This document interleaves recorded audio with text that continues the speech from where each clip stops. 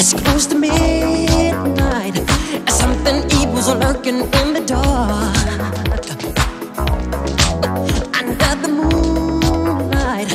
See a sight that almost stops your heart.